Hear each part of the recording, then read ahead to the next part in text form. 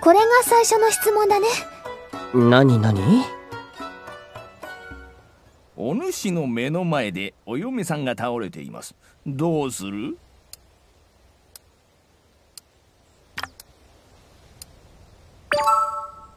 ドキドキしつつ人工高級という形になりますね。わし的に正解。20点獲得じゃやった！息をしてなかったら人工呼吸しないとね。ほう。人工呼吸ならばいいのですね。メモメモ。次の質問だよ。頑張って。何何？こっそり考えちゃったことがあるのはどっち？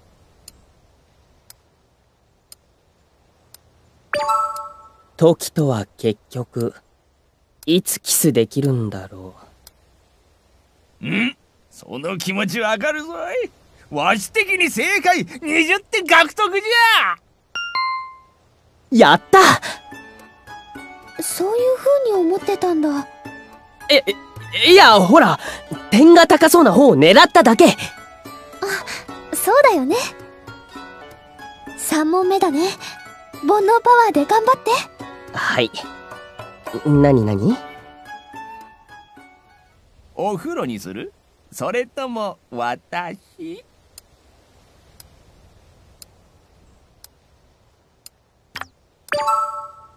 婿としては当然ながら私の方を選ばざるを得ないでしょう。じゃあよね。30点やったへえ結婚するとお風呂か私かって旦那さんに質問するんだね。さすが素直なトキさん。素晴らしい知識を吸収してくださっています。お風呂か私だったらやっぱり私？え？ど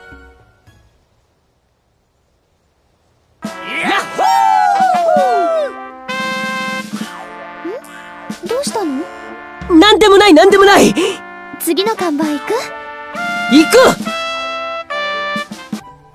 ！4問目だな。何何？新婚旅行に行くならどっち？そりゃあ南国のビーチでしょ。じゃあよね。わし的に正解。30点。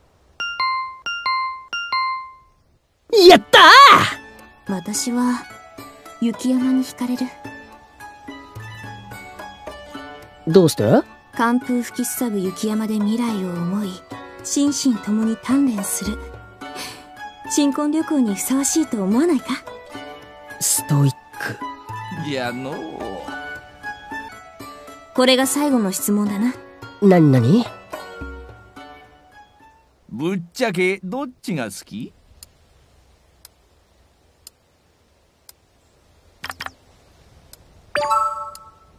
そんなの選べないよ。時もとわも。大切だ。ぐそー！え？わし的に刺さった！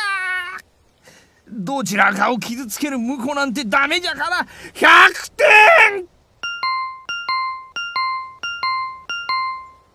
おやった！私にとっても嬉しい答えだ。時は大切な存在だからな。